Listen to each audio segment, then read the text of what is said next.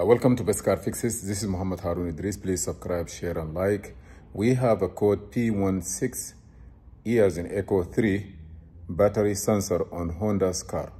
So let's go together and see what is the issue and what is the fixes. Here is a car and this sensor here, they call it battery sensor. And the battery sensor uh, job is to, uh, you know, like uh, stabilize or, you know, like, uh, it's just like a cutout of the current. It will monitor the battery, uh, battery state of charge. If the battery state of charge is okay, or it's go, it doesn't allow it to go high or low, or if you put load on the car, it will adjust it so that it will not overcharge. Also, it will monitor if the alternator is charging or not. The battery monitor sensor is something look like this. It's mounted here, you see? So the cable of the ground for the car is go into the sensor. This is the sensor, let me show you here. This is the sensor itself. And you're gonna put the ground, engine ground, through the battery sensor and it has two wires. You see, it has two wires. The wide wire have a voltage that is coming from this fuse number 24. The fuse number 24 is that the fuse for the horn. The first thing you need to do is, as soon as you have a problem like this, you need to go and put the horn. If you check the horn, that means the fuse is okay. Or if the fuse is blown, that means you're gonna you're gonna have a charging issue, or uh, even if it's charged, you're gonna have a charge monitor. Why? Because this sensor here, this white wire, this uh, blue wire, it leave this and it come to the engine computer, which is located here.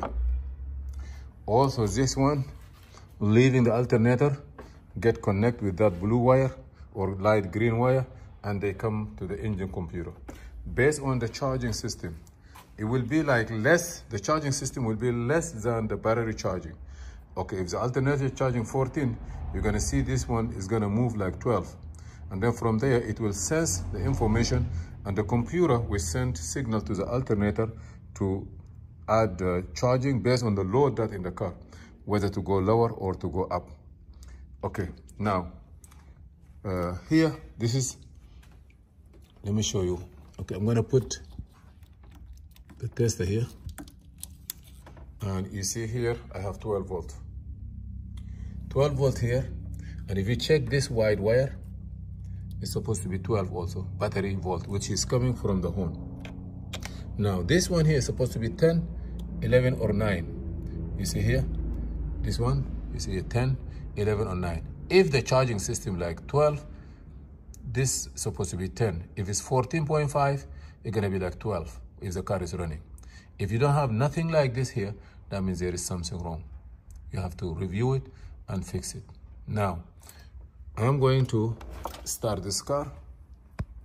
And one of the code that you get it is 13, I mean P16E as in Echo 3. Now I'm going to show you what code also I'm getting when I was doing it here.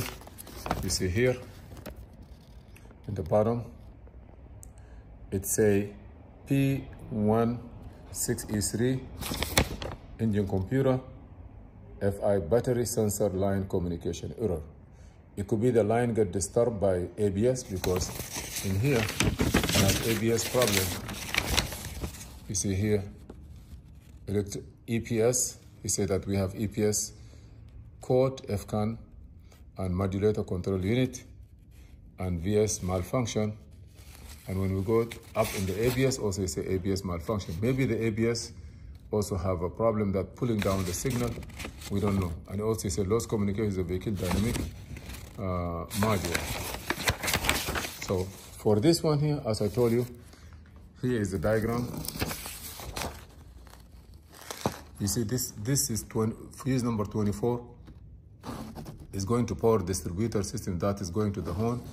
And if you go here, it will go to the battery sensor, which is a wide one. This is the battery, this is the battery sensor. And from the battery sensor, one wire is going right away to the alternator and it's the engine computer. So the wire is going to the engine computer and also to the alternator and to the sensor. The fuse number 24, if it's not good, you will have a problem also of, of charging or a message. On other car, also you can check, uh, they have a different one on, uh, and Honda uh, like 2015, 14, they have a sensor that is located in a different place, uh, fuse is different, constructed is different construct, construction. Just try to uh, follow that one and be sure um, to get it the right way. Here is a sensor, as you see. You tight it here, and this is a ground cable, and this is the battery line that going back to the battery. Okay, this is the part number that I did. I put that sensor, I clear it. I, when I drove it, it come back again. Now I'm gonna show you the test, what you need to do for a good working one. I'm gonna start the car and we go back to show you. Okay. You see here, I have on the positive side, I have 14.39. Look here, this is horn line, full power. I have 14.36. But the LIN number, line number, you see I have 12. So the higher the battery goes, it will also follow.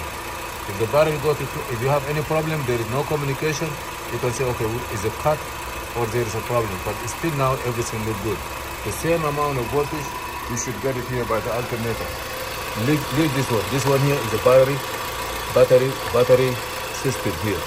It's supposed to have voltage, charging voltage. If you don't have it, also you can look at it. But the wire that is here, the other one here, this is the same wire that you can get a reading from here. If you don't get reading there, you can say, okay, there is a problem. You see, we have a reading. So for now, I don't have no,